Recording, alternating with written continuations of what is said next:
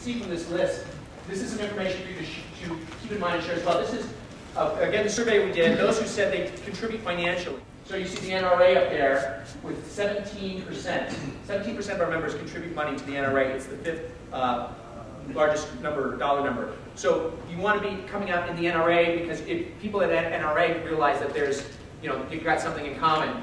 And these other organizations, I, I know, believe it or not, you know, this Gay boys like guns. Gay boys like guns too. And, and so it's, it's some of this information, and this is information you share too when you're talking about, oh, you know, log cabin or you gay Republicans, you're also liberal, this and that. It's like, well, you know, we're NRA members.